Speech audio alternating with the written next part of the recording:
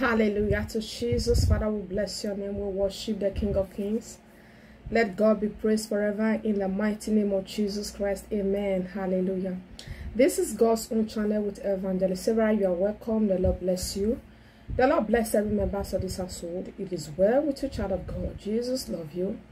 And I love you. Please family like this video, share, subscribe. Tell somebody about this ministry. God bless you. As you do that, in the name of Jesus Christ, amen. Hallelujah. Glory to Jesus. Glory to Jesus. Child of God, you will not be behind.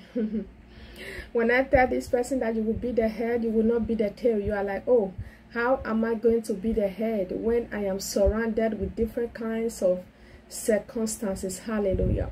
Being surrounded with different kinds of circumstances is still not going to stop you from being the head.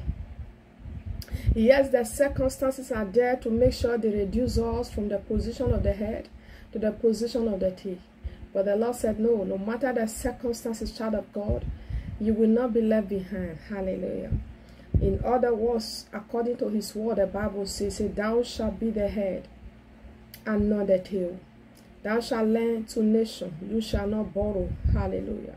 You in other words, you shall be a source of help to others not you even seeking for help and not finding help. You will become the helper that will even help nations. Hallelujah.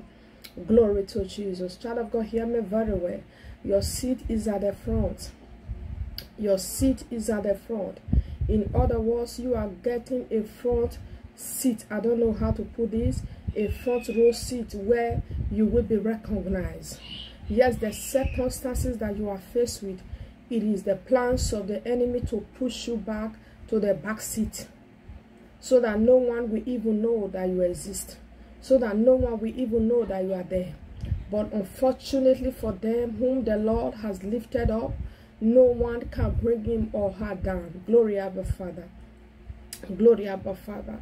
Yes, this can also make your enemy angry when they want to push you to the back seat and you are pushing forward you are pushing forth. Why? Because god said you will not be behind.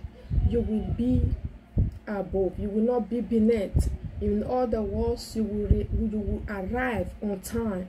Your destiny will not be something that oh i am late already. No it is is never going to be too late. Listen carefully child of god.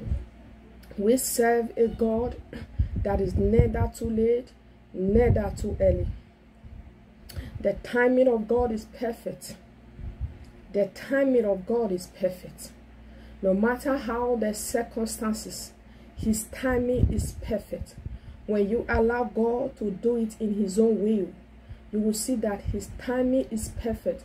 And the timing of God always bring out something significant that the world will hear and say, how did it happen? That is the timing of God. Hallelujah. That is the timing of God. You know, the timing of God was when Job recovered everything. People will look at him and say, how did this happen?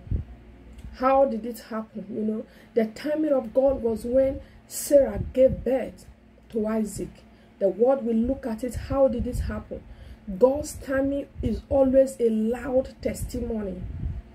The timing of God, when it happens, it comes with a very big testimony the circumstances you are in, child of God, it can still not push you to the back seat. Hallelujah. Hallelujah. Just trust in the Lord. Trust in the Lord, child of God. That front seat, it is your position. The front seat, it is your position. Hear me very well. You will be the head. You will not be the tail. It is well with you, child of God. Jesus love you. And I love you with the love of Christ. I remain your sister, Evangelist Sarah. By the grace of God, I will see you again. Bye-bye.